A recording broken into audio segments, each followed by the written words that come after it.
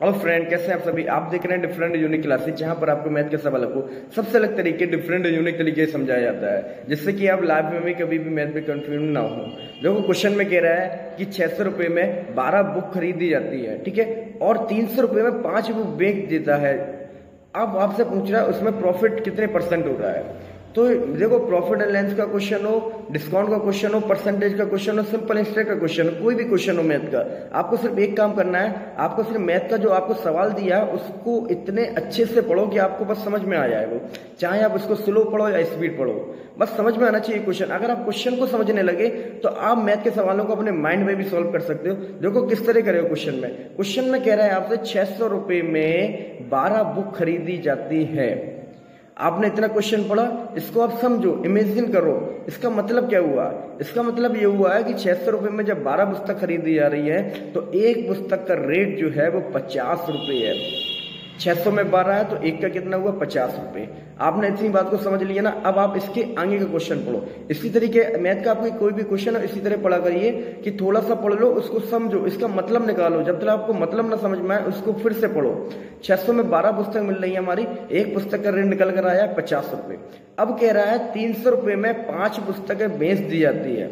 अब इसका मतलब क्या हुआ है? जब तीन सौ रुपए में पाँच पुस्तक बेच रहा है तो एक पुस्तक का रेट कितना निकल कर आएगा आपका? साठ रुपए। बात सारी क्लियर हो गई यहाँ पर। अभी हमने पूरा क्वेश्चन भी नहीं पढ़ा और यहाँ पर भी आपका आंसर आ गया है। देखो कैसे आंसर आया है। आपसे कह रहा है छह सौ में बारह पुस्तक खरीदी है। आप में इसका मतलब समझ गए कि पचास रुपए की एक पुस्तक में पढ़ी है। अब बोला है उसने तीन सौ रुपए में पाँच पुस्तक बेच दी है। तो हमको समझ में आ गया है साठ रुपए की एक पुस्तक बिकी होगी, तभी तीन सौ रुपए में पाँच हुई है। ठीक है, पचास रुपए की आई थी, साठ रुपए की बेच दी है। आप यहाँ से बता सकते हो कितने परसेंट प्रॉफिट हुआ है? बीस परसेंट क्योंकि पचास रुपए की आई थी, पचास का दस परसेंट, पाँच रुपए, बीस परसेंट, दस रुपए। और साठ रुपए बिकी है तो हमको प्रॉफिट कितना हुआ इसमें? बीस परसेंट, है ना? आप क्वेश्चन को होंगे क्वेश्चन में कह रहे इसमें प्रॉफिट कितने परसेंट हुआ बताओ। मतलब क्वेश्चन पढ़ने से पहले आंसर आ गया, मैंने आपसे कहा भी था मैथ का कोई भी क्वेश्चन हो, बस आप क्वेश्चन को इस तरीके से पढ़ो, आपको समझ में आना चाहिए। फिर क्वेश्चन के आंसर अपने आप आते हैं। ठीक है? देखो मैथ बहुत ज़्यादा इजी है। मैथ क्यों आपको हार्ड लगता है? क्यों आप करते हो? क्या हो? सबसे बड़ी गलती आप ये करते हो कि मैथ का सवाल एक तो जल्दी से पढ़ते हो, उसके बाद फिर आप फॉर्मूला ट्रिक ये सब याद करने लगते हो। कभी आप मैथ के सवाल को इमेजिन नहीं करते हो, समझते नहीं हो, और यही आपकी सबसे बड़ी गलती है।